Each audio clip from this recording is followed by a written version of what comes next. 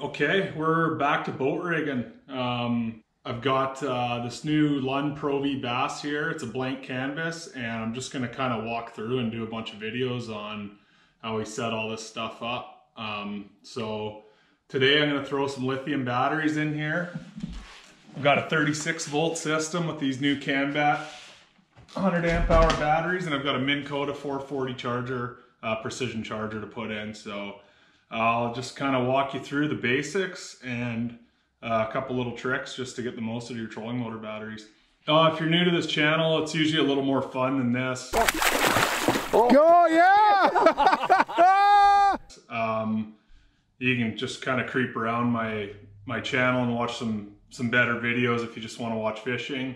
Uh, if you are interested, then cool. Um, make sure you just like, subscribe, comment some stuff, uh, anything just to kind of help out the channel a little bit it's obviously not as fun making the boat rigging videos and just kind of doubles the work. So any little bit of love in the comments always helps. Thanks a lot. Okay, so first up, I uh, pulled the charger out of the box last night, laid out my batteries on a board and just gave it a dry run, plugged them in, charged it up, make sure there's no problems. It's super rare, but you know, you hear stories once in a while of freak accidents of, you know, if you if you get a bad battery, I've seen I've seen it happen before with some sketchy batteries where you know people have put them in and, and plugged it in and just left the boat you know the first day. So I always do a dry run on the concrete you know minimize the damage if any any kind of freak accident were to happen. Um, these CanBats that I'm using are from a super reputable company. Uh, they're a huge operation and you know I trust them these are super expensive boats. I don't need to tell you that. Uh, the last thing you want to do is put some garage band battery in there and you know burn it down. So i use CanBats uh, yeah if you want any more info on them let me know. Uh, they got a website canbat.com it's a canadian company. Enter promo code bruce5 for 5% off and get some free shipping. And they've got agms and all kinds of other batteries too so check them out so one thing that I always do, especially in a brand new boat, uh, is just get some cardboard lay it down and just put your batteries on that. Um, these lithium ones aren't going to leak or nothing like that, but you, sometimes you pick up a little bit of dirt. And if you're dealing with older batteries, then sometimes there's some grime or, you know, a little bit of leak on the bottom or anything like that. Just things you don't want on your bass boat floor. So just gonna grab everything I need and pile in. And I mean like, these things are 26 pounds. They're super light. So this is gonna be a pleasure. I'm used to huge AGMs. This is a gift. I got them all teed up there in my sockies because it's a brand new rig. And you got to be anal your first trip in. So this Lund is like about the easiest boat there is to set the batteries up in. Um,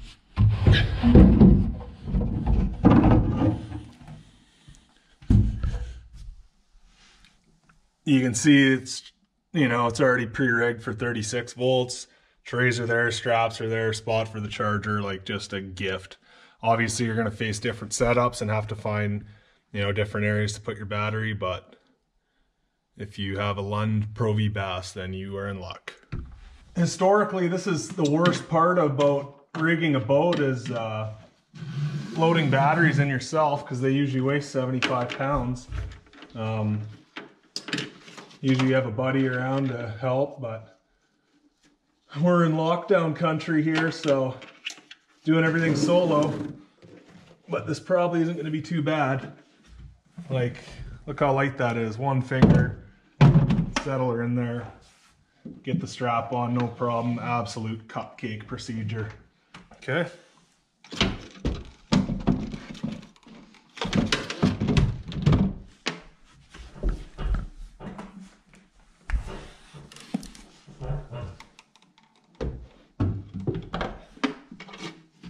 Know I've really been pumping CanBat's tires here, um, but that was insanely easy. Um, that's usually a nightmare job for one person dropping those things in there and, you know, you cut up your hands and everything and they're just so light, like, yeah, that's a gift. I'll stop talking about how light they are now, so we'll get back to rigging. So before we get deep into the batteries, I'm just gonna get some jumper wires out first. Uh, this, like I said, this boat's already pre-rigged. with a 36 volt system, so I'll need two jumper wires. Lund hooks you up with those. Uh, not sure what other boat brands do, but um, if you're installing a 24 volt, you need one. If you're installing a 36 volt, you need two. If you're installing a 12 volt, you don't need them. So definitely check uh, with your dealership or whatever. Just check it out before you start this process. But in this case, I'm laughing and I have two, so that's good. Thank you, Lund. Ooh, all kinds of goodies in there. Okay, so before you go any further into this rig, um, grab some labels or masking tape or painter's tape or just a Sharpie or whatever you can and just make the labels one, two, three. And I'm gonna show you why and that's gonna save you down the road.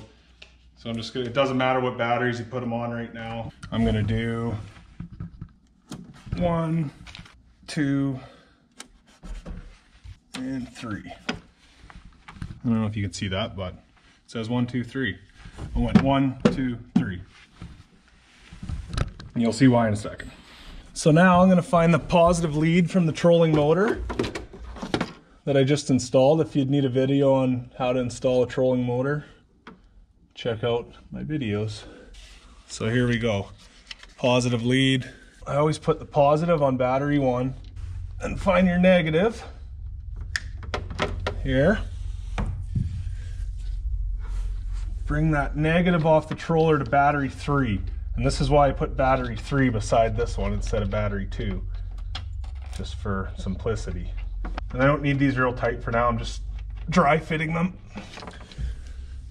So I've got positive on battery one, negative on battery three.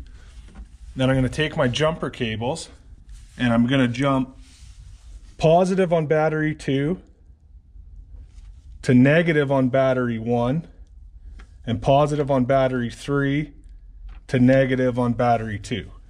It sounds confusing, maybe, and maybe you can't see real great, but just look it up on the web or I'll even drop a diagram in this video actually right about now.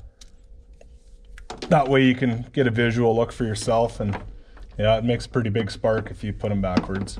So we're gonna clean this up in a minute.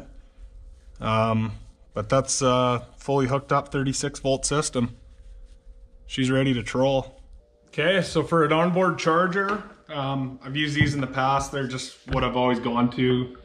Uh, never had an issue with them. This is a Minn Kota Precision. This one's the MK440. They make one size bigger. It's a four banker, one for each uh, trolling motor battery. and Then I run one back to my cranker. Um, but yeah, these are sweet. They're just plug and play and you can grab them at uh, Lake of the Woods Sports headquarters or at lakeofthewoodssports.com. So one thing you'll hear a lot of talk about, especially when it comes to lithium batteries, uh, is what to use for a charger. Um, a couple companies sell their own kind of little individual, like clip-on alligator chargers, and you'll see like a big mess of wires, you know, in the parking lot of people's boats, and that's what's going on there. Um, if you actually look at the numbers, um, an automatic charger with a setting for AGM or gel uh, will work. What won't work is a charger that's only for lead acid batteries. And the reason for that is at the end of a lead acid battery's charging cycle, uh, it'll ramp up to like 15 and a half. This one's 15 and a half volts. I'm not sure what the universal average is, uh, but it'll it'll ramp up to equalize that, um, you know, and give it that last shot. Well, that if you do that to your lithiums, um, they all have these battery monitoring systems in them, or the good ones do anyway, and uh, it'll shut down to you know prevent any any uh, damage to the battery or anything like that. So you're gonna have troubles if you have it on that. Um, I'm gonna put this one on AGM. That's what's worked in the past, and uh, yeah, I'd sure rather have one of these than like a big clip-on unit every time. So you know, uh, look at the specifications of your specific battery uh, for CanBats, everything checks out and it should be all good. So, I mean, I, I have enough confidence in it that I'm putting it my brand new boat and, you know, putting all my faith into it. So I'm not an expert, but that's my take on it. There's not a whole lot to know when it comes to this thing. Like I said, Lund's already got it carved out for one, so this is like world's easiest boat to work on.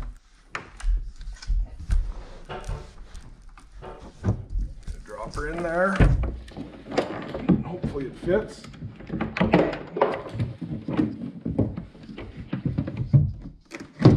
You can just buy them with these chargers too. You don't have to do this. This is just my own doing. The chargers they come with are fine and you don't have to mess around like this. But Okay, so there's number one. Pass it through here and all the way up to battery one at the front. The less clutter you have in your battery compartment, the easier your life's gonna be if you have an issue down the road. Pass it through here and all the way up to battery one at the front.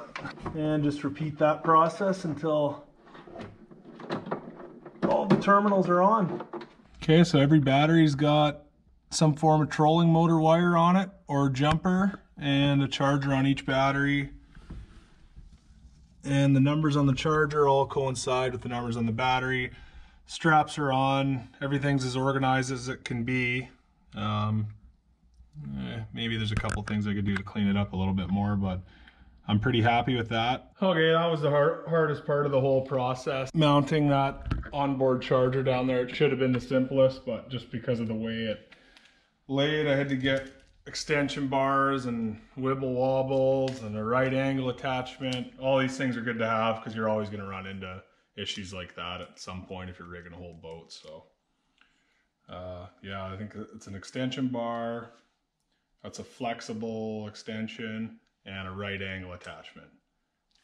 Those three you can pretty much get through any kind of nightmare scenario like that. Definitely good to have around.